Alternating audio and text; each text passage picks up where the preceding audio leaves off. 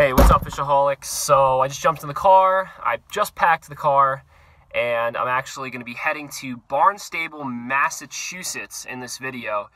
And uh, the reason for that is because uh, I go to school at Johnson Wales University, and I have an internship for December, January, and February for my winter trimester with On the Water magazine, which I'm really excited about. And, uh, you know, I can't pass up the opportunity, though, to do a little filming and hopefully do some fishing as I uh, you know travel through Rhode Island and head up towards Massachusetts. So I might uh, well first off I'm probably gonna stop off at Bass Pro Shops in Connecticut, pick up a few things, and I'll bring you guys with me. And then I'm probably gonna stop off maybe at a few of the breachways in Rhode Island, and then probably stop off at a holdover area in Rhode Island, and hopefully you know connect with some stripers, and then you know head up to uh, towards Massachusetts. And uh, yeah, let's go for a ride.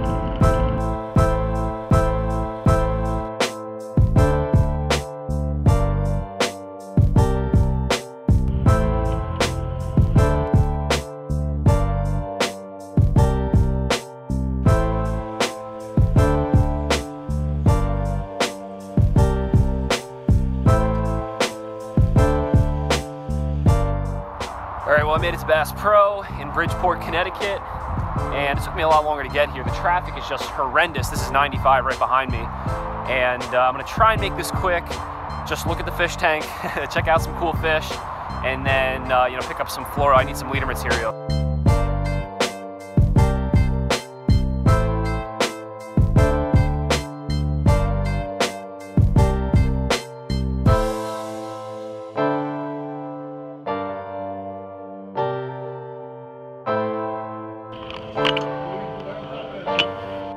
Guys, heading back on the road, and uh, I'm proud of myself. I got out of Bass Pro Shops without spending $100. I just bought four pound fluoro, six pound fluoro, and 20 pound fluoro. Just uh, you know the generic Bass Pro brand, and uh, you know the reason that for that is because it was the cheapest and they didn't have the uh, fluoro that I wanted. And uh, you know I'm sure it'll be fine. It'll show, it'll it'll get the job done. But uh, yeah, I'm gonna get back on the road. It looks like the highway lightened up, and uh, yeah, my next stop is Rhode Island probably. I might stop off, you know, on the South Shore and take a look at one of the breachways, but I'm probably just gonna go straight to my winter holdover spot, you know, because it's about that time of year. There's gonna be very few fish on the ocean front. There's gonna be more fish up in the bay.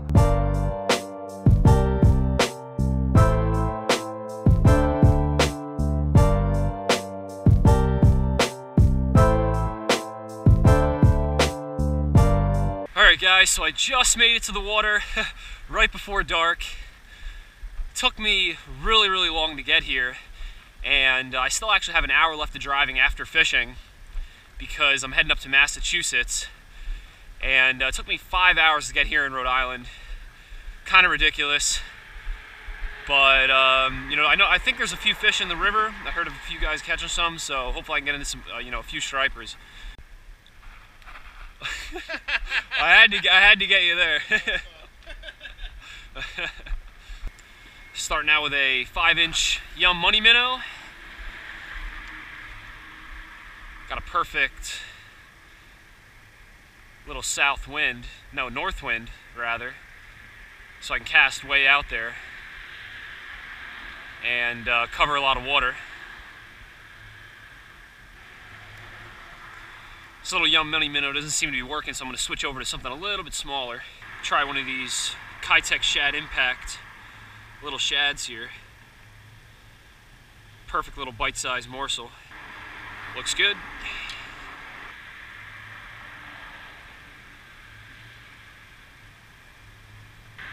There he is, got him. Oh. Sorry, he's trying to take me into the uh, into the pilings. Finally got one.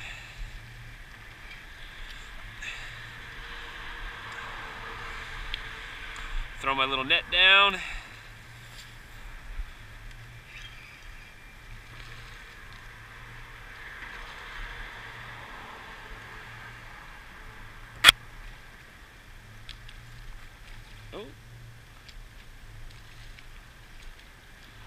And he's in the net.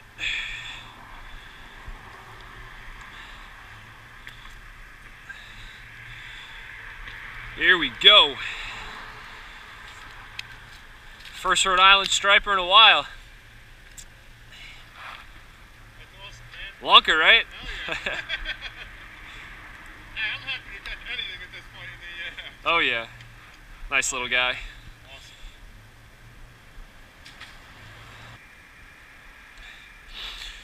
Guys, gonna try out this new spot here, or this other spot.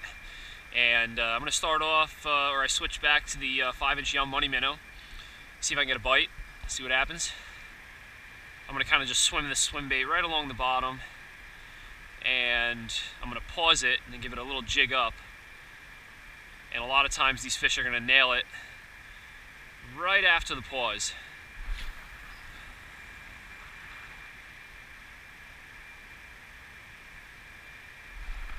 There's a good one. Fish on.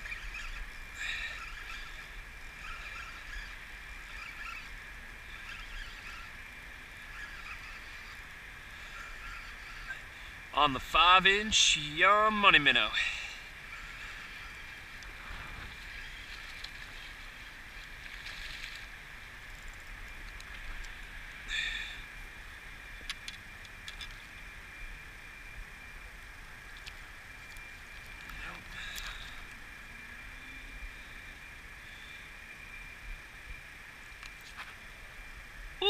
Really skinny one.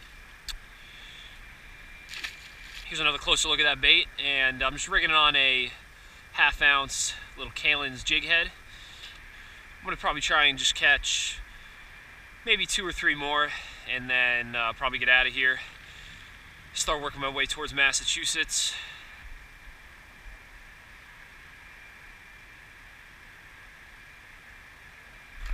Oh, just had a good hit.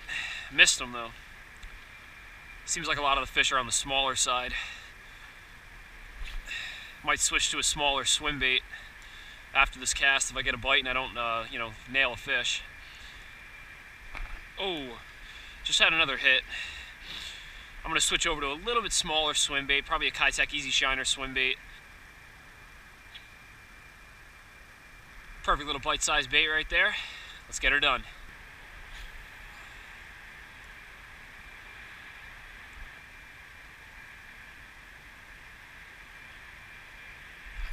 There he is. Wow, this is a really tiny one. Miniature striper.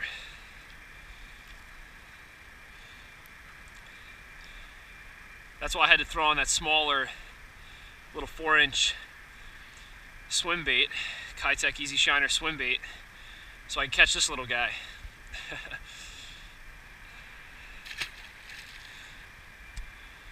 Just looking for one more little striper. Getting pretty chilly out here. My hands are getting like ice cold. Getting kind of late too. I want to start working my way towards Massachusetts.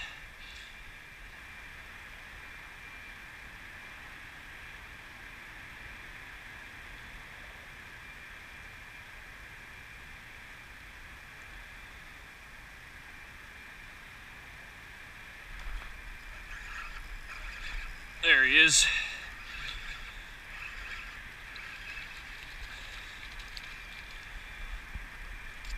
Wow.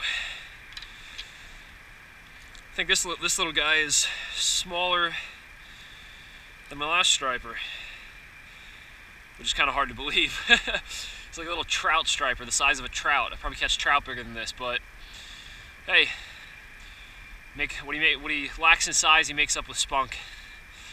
Throw him back. I'm probably gonna call it at that, guys. I hope you guys enjoyed the video. And uh, what I call, I four stripers in uh, probably about around you know an hour of fishing. And uh, you know I'm gonna pack it in, warm myself up. It's only around 38 degrees out here, and uh, then I'm gonna head up towards Massachusetts. And uh, make sure you check out the description below for all the information about tackle and equipment and how I you know film this video. And don't forget to subscribe. And never forget, live to fish, fish to live, and I'll see you guys out on the water.